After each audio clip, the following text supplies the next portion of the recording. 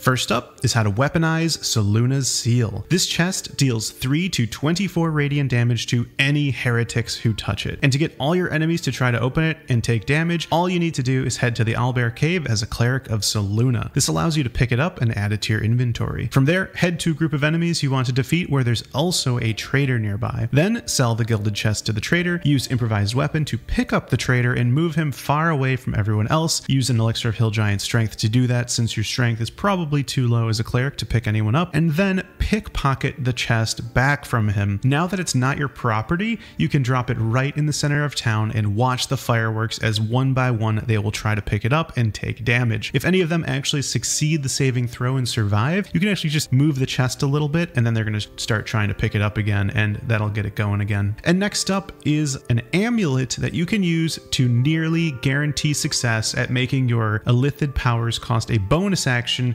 instead of an action. This amulet is the Aberration Hunter's Amulet, and when equipped by a Githyanki or any race disguised as a Githyanki, you can use this to nearly guarantee you succeed in getting the Awakened Permanent Condition from the Zaithisk in the Githyanki Creche. Now, in order to get the Awakened Condition, you need to pass three saving throws. The first one is a DC 12 Intelligence saving throw, the second one is a DC 15 saving throw, and the last one, you have a choice of either a Constitution, Intelligence, or a class specific saving throw. So by equipping the Aberration Hunter's Amulet and disguising as a Githyanki, you can gain advantage on intelligence saving throws, which means two of the three saving throws to get awakened you'll have advantage on, giving you a much higher chance at success. And it's important since awakened is one of the best permanent conditions in Baldur's Gate 3. And in order to get this amulet, all you need to do is loot it off the corpse of Ghustil Stornugoss, the principal healer of Creche Y'llek. That's the Githyanki right next to the Zaithisk. And next up is a message from this video's sponsor, Manscaped, the global men's lifestyle brand that's disrupting the beard market. My fellow tadpole adventurers, do you want a perfect beard just like Gale? Then the Beard Hedger Pro Kit by Manscaped is for you. The king of this kit is the Beard Hedger Trimmer. The powerful 7,200 RPM motor and titanium coated T-blade can cut through the thickest of hair in a single stroke, just like how you cut down your enemies. The Beard Hedger was designed with a unique cutting angle to actually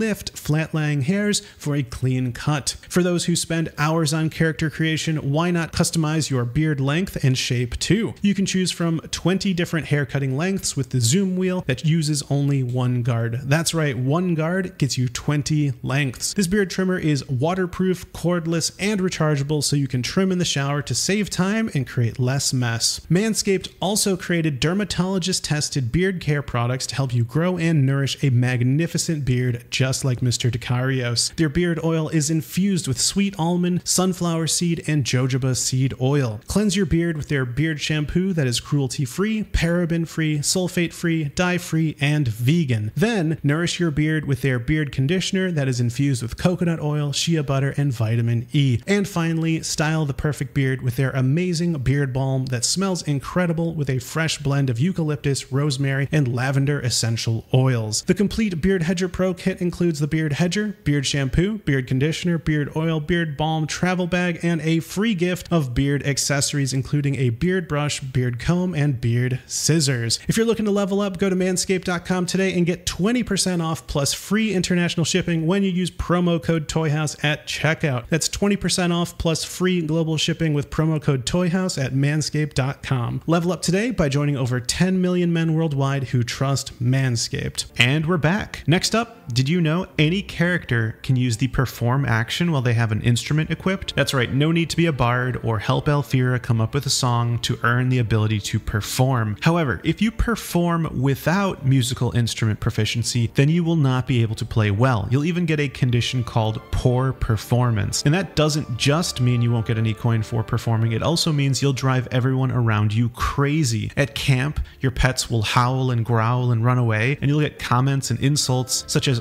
offers to pay you to stop playing, and you can even get rocks thrown at you that deal bludgeoning damage, so be careful if you don't have musical instrument proficiency and you try performing. And next up is a newly discovered permanent buff, which makes you unable to be knocked prone or moved against your will. That means you can't be shoved and you can't be pushed back by spells such as Thunderwave. This is amazing for traversing the secret chamber to retrieve the blood of Lathander, and generally just great if you're melee or enjoy standing on the edge of cliffs. To get this permanent buff, all you have to do is acquire the Boots of Striding. These are worn by Minthara. Once you have them, cast any spell or cantrip requiring concentration, and then unequip the boots, and then cancel the spell or cantrip. You are now permanently unmovable. The way this works is that the boots grant unmovable while you're concentrating, but it goes away when you stop concentrating. But if you remove the boots and then stop concentrating, the boots aren't able to take away your unmovable condition, so it's permanent, and it doesn't show up in your list of conditions or notable features,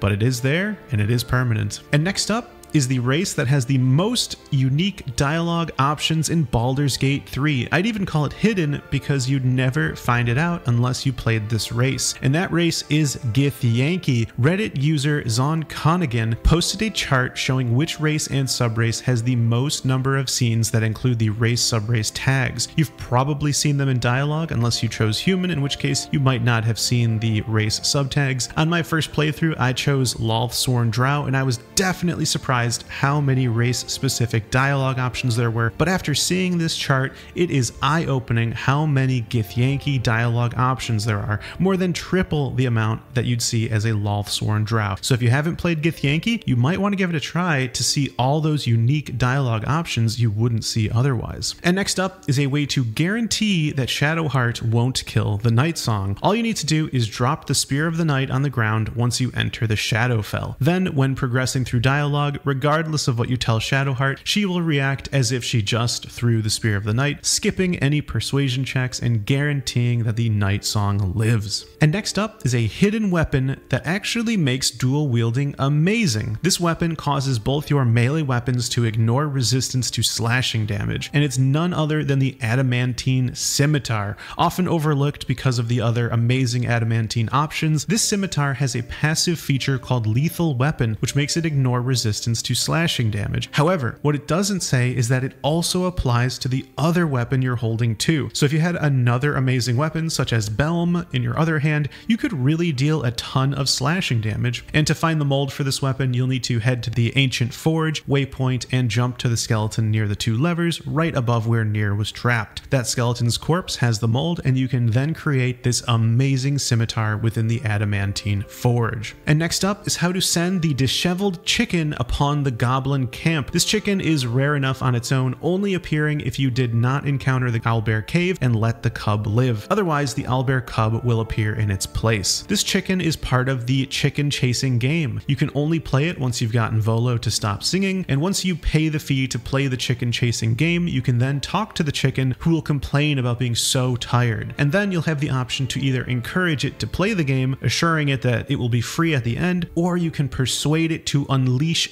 fury upon the goblin camp. It's a DC 20 persuasion check, but if you pass, you will have set loose the unbridled fury of the disheveled chicken upon the goblin camp. And next up, did you know your cleric's spiritual weapon can actually grant advantage on attack rolls to your whole party? Now, when it comes to choosing spiritual weapons to summon, in almost all cases you should choose the Great Axe, Great Sword, or Halberd. These three weapons have the ability to give your entire party advantage on their attack rolls through Lacerate, which causes bleeding for two turns. During any playthrough, you should always pick up Bhaal's Benediction within the Festering Cove because it is one of the few conditions that is truly permanent even if you die. More importantly, it grants advantage on all attack rolls against bleeding targets, and your whole party gets the permanent condition. That means that when your spiritual weapon uses Lacerate, any follow up attack rolls on that target will be made with advantage, which is amazing. Spiritual weapon only costs a bonus action too, making it a great spell. And you can even get Bhaal's Benediction without sacrificing a party member. All you have to do is enter into dialogue with the Kuo-toa in the Festering Cove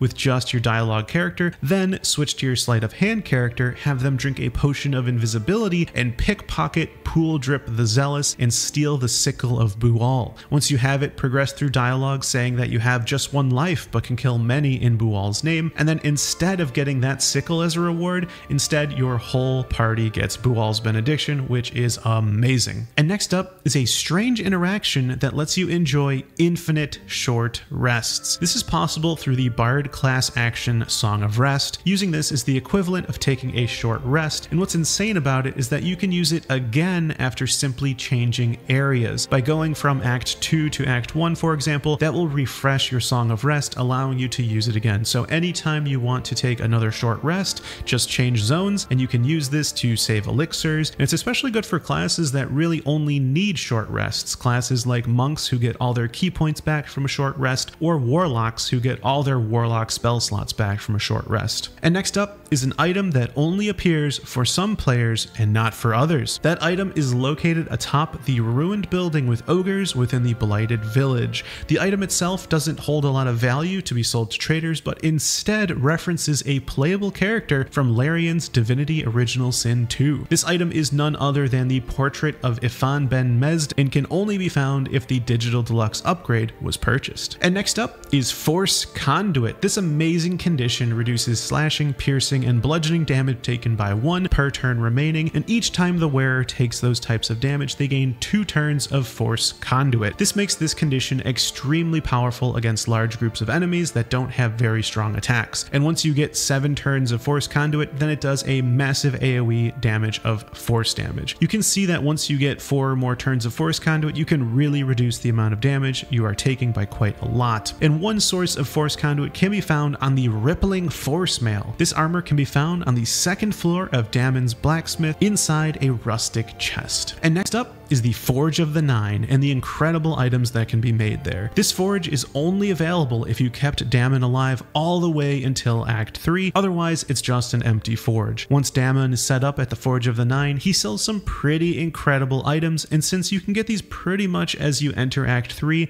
if you just walk straight there, it's a great reward to help you start gathering the other amazing equipment that you can find in Act 3. One such amazing item at the Forge of the Nine are the Boots of Persistence. These boots grant freedom of movement and long strider permanently. Both of these are great conditions, granting movement speed and immunity to movement speed impairing effects, and cannot be paralyzed, which is great against ghouls. Legacy of the Masters grants plus 2 to attack and damage rolls with weapons, which is great, and the Armor of Persistence reduces all incoming damage by 2 and grants plus 1 to all saving throws and resistance to bludgeoning, slashing, and piercing damage in the form of resistance and blade ward. Very good items that grant actual spells permanently as part of their passive features. And next up is a hidden interaction with Spellmight gloves. These gloves grant an additional 1d8 damage to your spells that use attack rolls at the cost of minus 5 to the roll. However, these gloves actually work with all smites other than Divine Smite, granting the additional 1d8 damage and without any penalty to the attack roll. So these seemingly spellcaster gloves can actually be a nice addition to a paladin if you want some extra damage to your smites. And to get these Spellmight gloves, all you need to do is loot them off Lucretius or complete the quest Find Dribbles the Clown in Act 3 within the Circus of the Last Days. And next up is a rare item that is not actually unique. Now, for almost all rare items, you can only ever find one, especially from merchants. But one item from Dammon's stock will always come back even after you buy it. And that item is the Thorn Blade. This scimitar adds 1d4 poison damage if you are concentrating. And what's cool about this blade is that since you can get more than one, if you decide to dual wield them while concentrating, you'll get 2d4 poison damage instead of 1d4. And while it's not the best scimitar in the game by a long shot, it's a hidden interaction you might not have noticed since every other rare item is actually unique and you can only get one.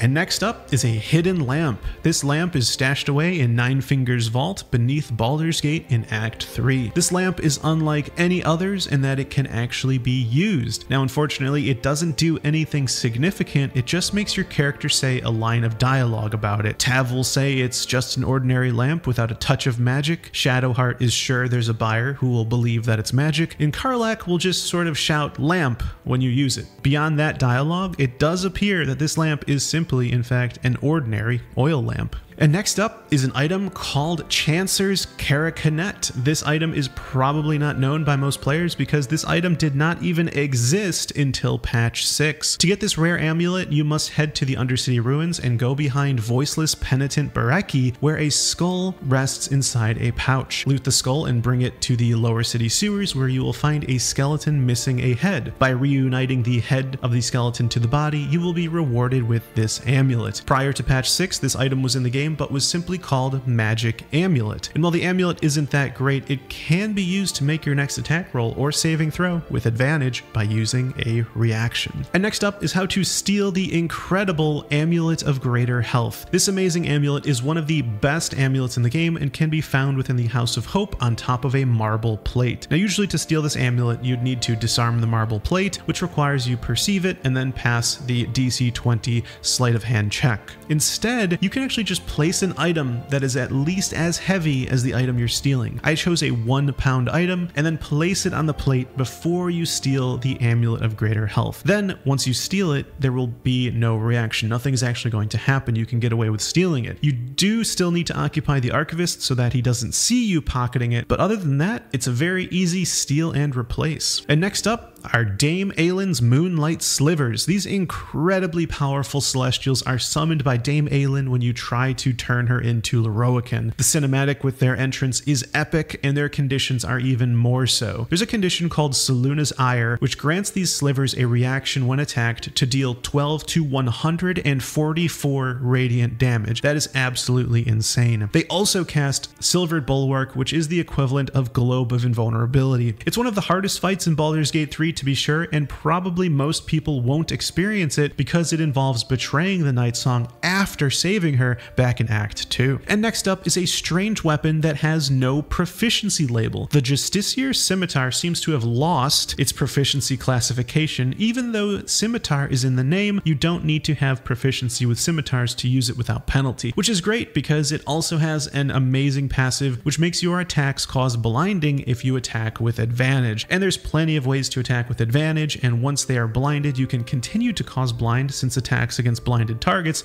are made with advantage. It is worth noting though that despite the tooltip suggesting it's any attacks you make, Shadow Blinding applies only to attacks made with the Justiciar's Scimitar. And to get this odd weapon, you need to head to the Gauntlet of Shar and go to the Infernal Effigy. If you light one of the candles, a rat will appear, slay it, and then many more will spawn. After you slay them all, Lythindor will spawn and you can slay him and he will drop this weapon.